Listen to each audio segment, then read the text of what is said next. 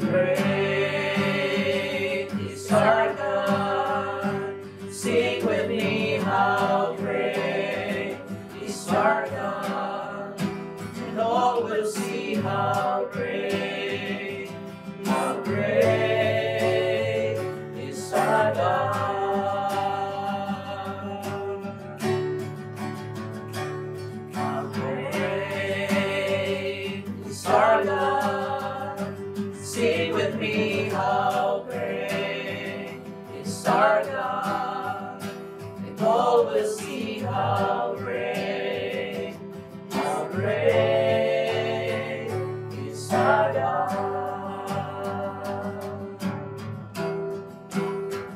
Good morning, brothers and sisters. We are the members of the Youth for El Shaddai in London, and it's our privilege to be joining with you today in our morning prayers. Let us pray. In the name of the Father, and of the Son, and of the Holy Spirit. Amen. God of love, your Son Jesus is the greatest gift to us. He is a sign of your love. Help us walk in that love during the weeks of Advent. As we wait and prepare for His coming, we pray in the name of Jesus, our Savior. Amen. In the Father, the Son, and the Holy Spirit. Amen. Our reading for today from the Gospel Luke chapter 1 verse 39 to 45. In those days, Mary set out and went with haste to a Judean town in the hill country, where she entered the house of Zechariah and greeted Elizabeth.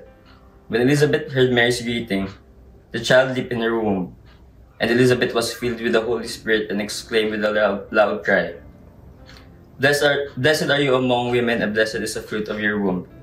And why has this happened to me? that the mother of the of my Lord comes to me. For as soon as I heard the sound of your greeting, the child in my womb leaped for, for joy. And blessed is is she who believed that that there would be a fulfillment of what was spoken to her by the Lord, the gospel of the Lord. Praise to you, Lord Jesus Christ. People who are untuned to the will of God are profoundly connected with one another because they are directed by the same Holy Spirit. Such are Mary and Elizabeth without sending a word to each other. They know what marvels God is accomplishing in one another's life. God lets them into the divine plan. Elizabeth's extraordinary pregnancy in her old age is given as a sign to Mary at the announcement of Jesus' birth. Mary immediately sets out to visit Elizabeth, not only to see the sign, for she is not doubting and does not need verification. Rather, solicitude for her elderly cousin prompts her to reach out to Elizabeth in her moment of need. Elizabeth too receives a divine revelation upon hearing the voice of Mary. She recognizes Mary's blessedness not only because of her announce, not only because of her divine maternity, but especially because of her faith in the announcement made to her.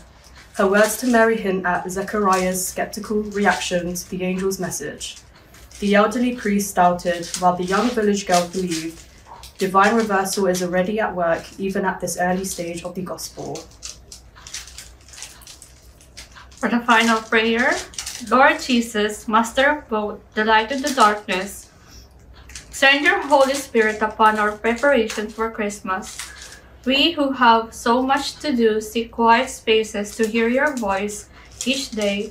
We who are anxious over many things look forward to your coming among us. We who are blessed in so many ways long for the com- complete joy of your kingdom. We who, whose heart are heavy seek the joy of your presence. We are your people walking in the darkness, yet seeking the light. To you we say, Come, Lord Jesus. May the mighty God bless us in the name Father, Son, and the Holy Spirit. Amen. Thank you for joining us in our morning prayer. May God bless us all.